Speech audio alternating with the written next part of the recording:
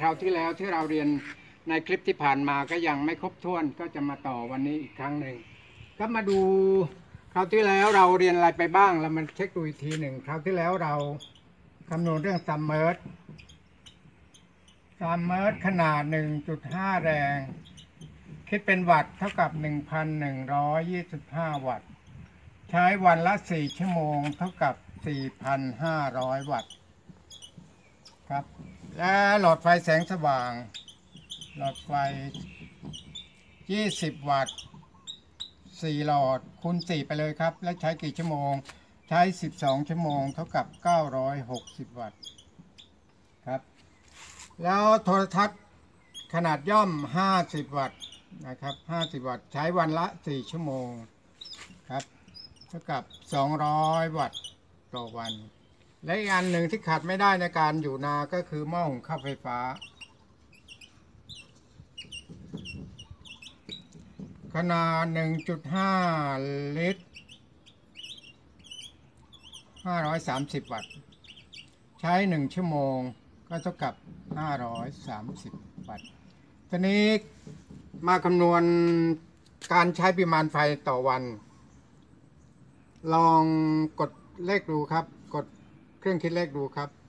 6,100 วัตต์ต่อวันครับ นี่ต่อวัน มาดูว่า submerse submerse นั้นเราใช้ไฟโดยตรงจากโซลาร์เซลล์ผ่านตู้ควบคุมนะครับsubmerse เพราะฉะนั้น submerse ที่ใช้ไฟต่อวัน 4,500 วัตต์นะครับ 1,500 วัตต์ เราไม่ได้นำไปคำนวณในการใช้ไฟต่อวันที่เก็บไว้ในแบตเตอรี่ เพราะฉะนั้นทั้งหมดรวม 1,600 วัตต์ ก็เอา 4,500 วัตต์มาลบนะครับ ก็จะเหลือ 1,600 วัตต์ ไอตัวนี้คือเราใช้ต่อวันนะครับ อันนี้คือต่อวัน ต่อวันจริง ๆ เพราะฉะนั้นเราจะได้ตัวที่ตามมาก็อินเวอร์เตอร์ครับ อินเวอร์เตอร์ สำหรับเปลี่ยนพลังงานไฟฟ้ากระแสตรงเป็นกระแสสลับครับ จาก DC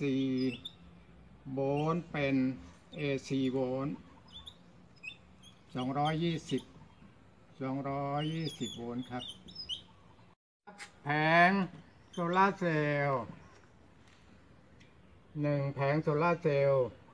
สามแผงทำไมถึงสามแผง เพราะสามแผงนั้น สามารถผลิตกระแสไฟได้ประมาณ 450 วัตต์ต่อวันนะครับ ผลิตยังไงนั้นเรามาดูนะครับสมมติว่าแผงละ 300 วัตต์3แผง 3 แผงคูณ 300 วัตต์เท่ากับ 900 วัตต์ ในวันหนึ่งนั้นเราแสงแดดที่เข้มที่สุด เขาคิดให้โดยเฉลี่ยแล้วประมาณ 5 ชั่วโมง เพราะฉะนั้น 900 วัตต์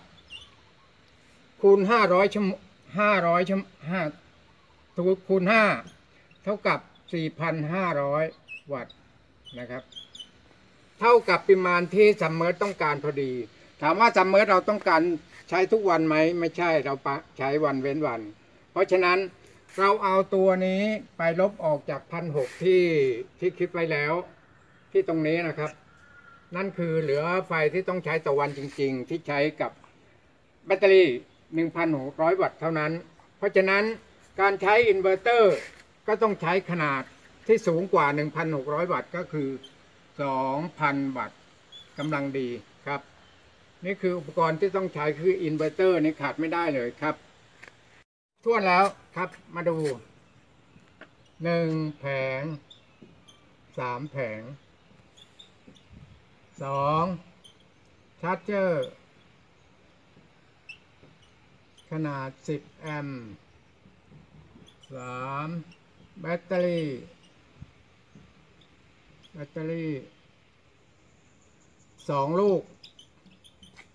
ลูกละ 100 แอมป์ amp hour ครับ และตัวสุดท้ายก็คือตัวที่ 4 อินเวอร์เตอร์ เวอร์เตอร์ขนาด 2,000 วัตต์ครับ นี่คืออุปกรณ์ที่เราจะต้องนำไปติดตั้งในการติดตั้งระบบโซลาร์เซลล์ขนาดย่อมที่เราใช้ในทุ่งนา วัตถุประสงค์นั้นเราใช้กับ submerse ในส่วนที่เหลือจาก submerse เราก็มาเก็บไว้ในแบตเตอรี่นะครับ ครับวันนี้ก็จบเพียงแค่นี้ในโอกาสต่อไปจะสาธิตการติดตั้ง เราจะต้องออกงานสนามที่แดดร้อนหน่อย แต่ไม่เป็นไรเมื่อเราหากินกับแดดก็แดดนี่ไม่น่ามีปัญหาแดดคืออาหารของเราที่ใช้กับพลังโซลาร์แผงโซลาร์เซลล์นั่นเองครับ ครับขอบคุณครับ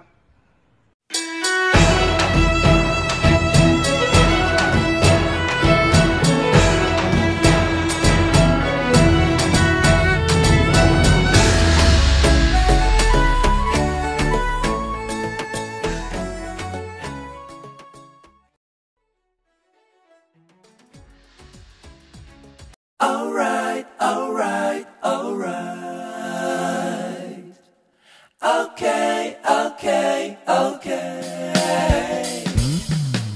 Alright. Alright. Thank you for watching.